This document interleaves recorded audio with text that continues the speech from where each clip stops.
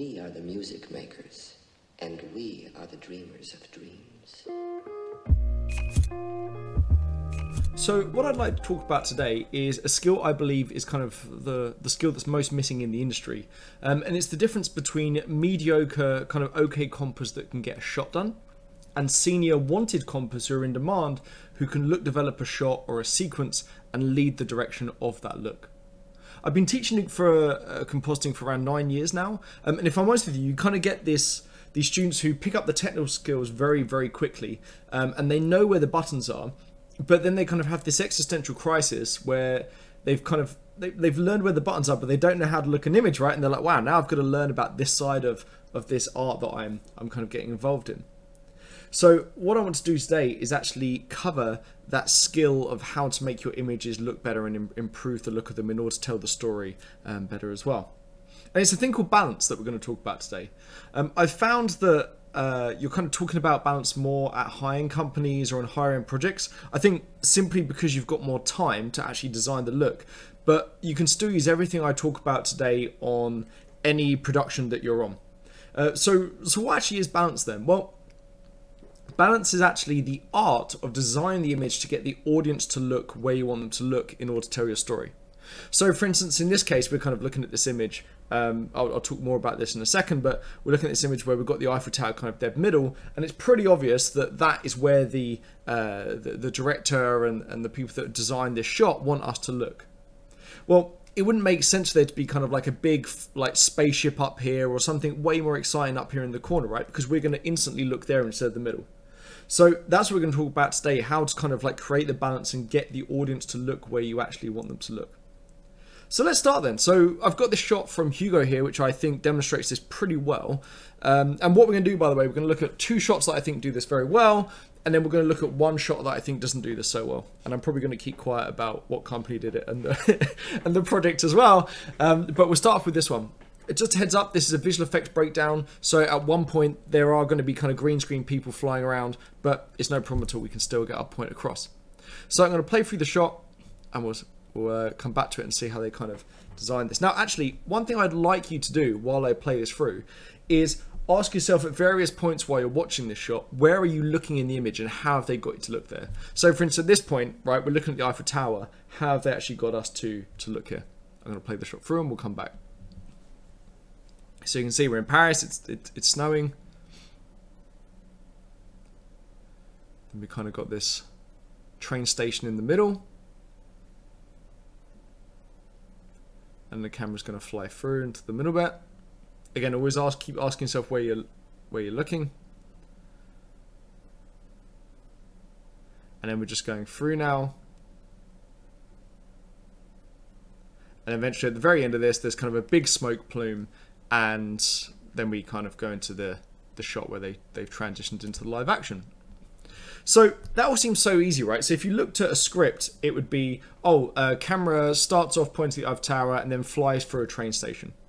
But I'm going to show you uh, why, if you actually just did this for real or did it without thinking about various um, aspects of where you want the audience to look, this would have become a very different shot entirely. So let's start off then. As I kind of talked about at the start before I played this, we're looking at the Eiffel Tower right now. Have they got us to look there though? Well, first of all, they've conveniently put these bright clouds behind it. And what that's doing is it's popping out the Eiffel Tower, right? We've got these dark clouds up here, um, and we've got bright ones below. Why didn't they have dark clouds down here?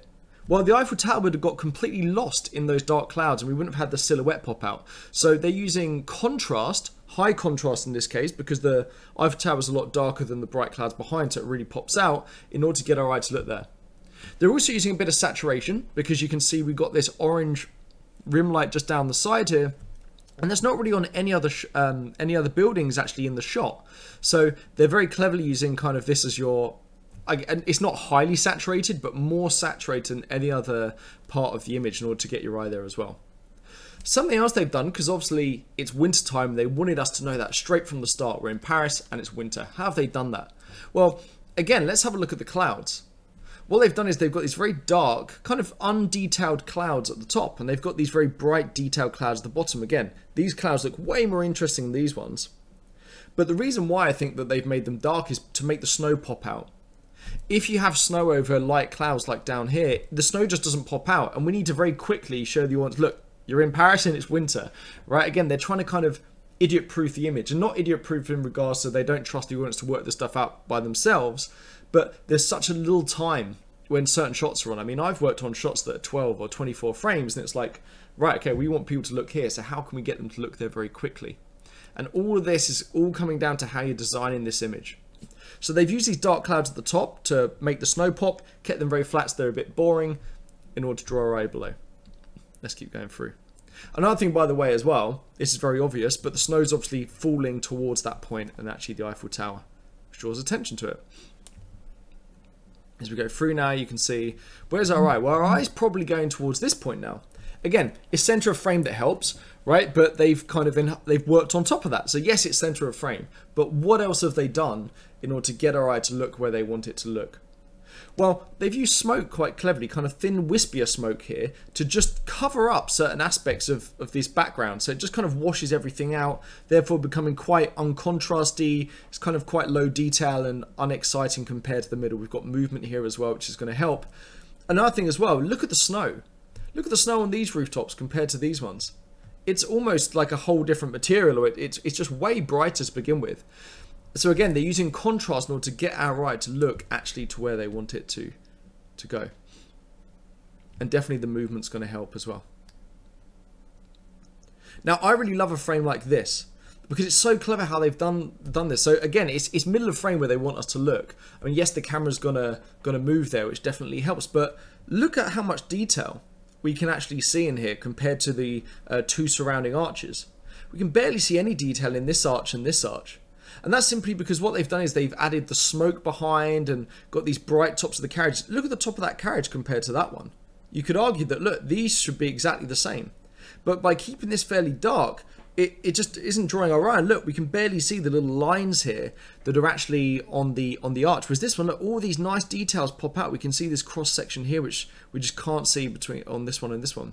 Have a look at the black levels as well, by the way. There's definitely a brighter highlight here, right? And it's slightly darker on these beams.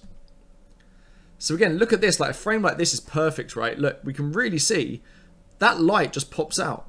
We've got the same lights here, but they're just not popping out because they get lost completely in the dark background. They could have quite easily had this train over here kick out the same amount of smoke as this one, but our eye just, they don't want us to look there. Okay, let's try and make it feel very kind of boring. Again, it's still going to feel realistic, but they don't want to make it very interesting or high detailed. So you can see, look at the amount of detail we can see here.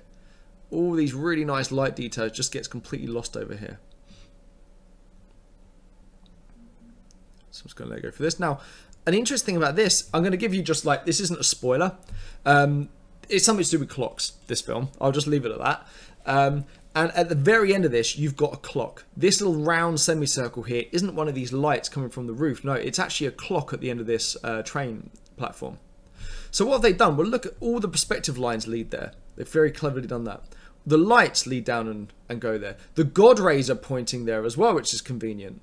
They've also kept this top of the station very, very smoky and diffuse. And what that then means is they can diffuse the light, which therefore means it's darker up there. Look at the look at the lights, by the way on the suitcase and this guy's hat and the other talent they've added compared to the light up here.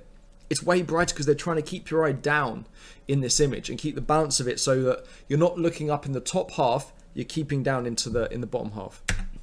So again, all the God rays. Now, something else I want you to do is keep an eye on that clock. It never gets covered with smoke. In fact, this bit, I think there's a smoke that goes, yeah, this bit of smoke actually breaks around it, right? And it's only until they need to do that kind of convenient crossover into the real plate that you get this smoke. So if I were to tell you, hey, look, what we're going to do is we're going to just run a camera down a train platform uh, at the end because that's where the clock is. You could have been looking all over the place. There might have been a, a guy or a girl over here, let's say a girl in like a red dress that's running towards the side of the frame. Well, now your eye's going to be distracted there. But you can see, look, everyone's wearing very low, kind of saturated clothing, which definitely helps. Everything's quite low saturation in general, and nothing breaks in front of that clock. Everything's pointing towards it. So as you can see, what seems like a shot where on a bit of paper it would just say starts pointing at the Eiffel Tower and then moves for a train station, you can see there's been a whole whole lot of thought about about the actual image and where they want to look at every single point of this shot. And this is something you should be thinking about as a compositor. I mean, all departments should be thinking about this, but you as a compositor should be thinking about it because it will make the difference between where am I going to put that smoke stop footage? Do I have it going this way or this way? Where do I put my God rays? What way does the sun go? How kind of contrasty should it be at the top versus the bottom? All of these decisions are decisions that can be made in compositing. So it's super, super important that you're starting to think about balance. This will make you a better compositor and it will also mean that you're kind of indispensable a little bit because you're not just a compositor now, you can actually develop the look of sequences. Super, super important. Now, next up, I want to show you a shot that was worked on by a compositor called Miguel Santander Silva. Um, I consider him to kind of have one of the best eyes in the in the visual effects industry personally. Um, he's a compositor at ILM. They seem to agree as well because they held on to him for quite a while. Um, and this is a shot from Jurassic World 2. Um, and obviously there was an effects team and, and, and modelers, etc., and lighters, textures working on this. But I know that he had to do a bit of kind of working comp- comping to kind of like help sell the shot. So I just thought we should just go through kind of using what we've learned from that Hugo shot and what I've talked about in that shot. And look at how Miguel's using that in, in this shot as well, how the visual effects artist using it in this one as well. So first up, let's just have a quick look from the shot. Again, this from Jurassic World 2. It's quite an iconic shot from that film. Dinosaur kind of rears up and then it gets engulfed in the flames. So what are they doing and how are they getting again how are the visual effects artists and Miguel how is he in his comp making it so that we look where um, the, they want us to look? Well if we have a look let's start from the start. What I want you to do is keep an eye on the smoke down the bottom. So keep an eye on this bit of smoke in the foreground and this bit of smoke here. Notice how this bit of smoke goes this way and this bit of smoke goes this way. Again, they're making it pretty idiot proof, right? Like if you watch through, look, this one's pointing this way, this one's kind of coming up and pointing this way. And you can see it flies over even more. Then here's a big bit as well flying over. So again, what Miguel's doing, or I'd imagine this is Miguel adding this and adding this smoke in, um, he's covering up these areas. He doesn't want us to look here, and he's pointing our eye towards the middle by moving that smoke there. Something else is doing as well, a little like that Hugo shot. Look at the God rays. They're pointing directly again at the exactly where he wants us to look in the shot. Something else as well, he's using high contrast, so you can see this is quite, he's using color as well. There's very little color in the rest of the image, um, probably by, by design. Um, and he's adding that into the middle bit here in order to draw our eye. And notice the contrast levels, how bright this is, how bright this is compared to the actual dinosaur. We've obviously got kind of quite high contrast here and here, but because it's saturated, uh basically it's got a lot of strong color, it's really catching our eye and drawing our eye there. So you can see it's super clever, right? And it's using very similar techniques to what we saw on that Hugo. Um, on that Hugo shot. And notice as well, look, he doesn't really want you to look up here in these corner bits, so he's kind of keeping the, the clouds fairly dark and uninteresting um, in order to keep our eye in the middle of the frame. He's blown out the top bit and blown out kind of the bottom bit. Again, this would be like photographically correct as well, but he's done it in order to draw eye to the middle of the shot. So I just thought that's another really useful shot to look at because again, it, it feel if on paper you wrote, well, look, a dinosaur kind of rears up, gets engulfed in flames, and there's smoke everywhere, that could look a whole lot different to what we're looking at now. So he's using the same techniques that we looked at Hugo in order to draw our eye to a different part of the image. Again, you can keep using these in your shots as well as you work on them. So now I want to show you a shot that I feel isn't so good. Now I'm not going to tell you what, what uh, who worked on it and what company works on it, etc. Um, I don't know what artist worked on it, but I do know the company and the show. But I'm not going to mention that because again, I know that company does kick out good stuff, and you don't know the situation they're in when making this shot. Maybe the client was a pain in the ass. Maybe the client wanted it to look like this. But this for me is a great example of a shot that doesn't work so well. And the reason why is where's the focal point? Well, if we were going on the ideas we kind of have learned about so far, then maybe this Coca-Cola sign is the focal point, right? Because it's kind of the highest saturated, highest contrast area. And that's definitely what draws my eye. But that doesn't make any sense for this to be the focal point, right? Like, actually, it should probably be the kind of middle of shot here, or maybe this particular shot is about this hotel and they should have made these signs kind of flash or something and had some color here or, or something just draw our eye. But can you see how there's nothing really that really pings out and draws our eye? there's they're not using the smoke to kind of cover areas like this, for instance, is a is quite a saturated bright area and it's high contrast compared to here. So I would have kind of like covered this in just thin wispy smoke just to knock it back a little bit in order to sit the shot back just a touch. Another thing to check as well is just, I mean, general tech checky stuff like white levels here compared to here and here, and then look at the window brightness, etc. It's not super consistent. If you look at the brightness up here compared to these windows, these are a bit blue, these are white for some reason. Um, look at the American flag. Can you see, look, there's no saturation in there. And again, that might be a decision in order to draw your eye somewhere, but it's not, it's not working in this shot. Look at how like desaturated this is compared to the Coca-Cola sign again. So it just feels a little bit all over the place, right? Like there's nowhere for our eye to really um, kind of focus on. Again, if you wanted the middle of shot here, make that Macy's sign super saturated, maybe a super saturated green. Have the star flash a little bit. Have lots of high moving cars down here or something in order to just get our eye looking there. Have lots of stuff going there and making it the most interesting part of the shot. And again, the problem is there's no really super interesting part of the shot here, so it's very hard for us to know where it is, and it's just kind of, the shot just becomes a bit of a nil shot, and like it doesn't really do anything. So this is a great example, and hopefully you can feel this as well, of kind of how to uh, not design a shot. And well, there's basically no focal point and it hasn't been designed in the first place. So it's always worth having a look at this. Whenever there's a shot you don't particularly like and you don't think is that successful, ask yourself why.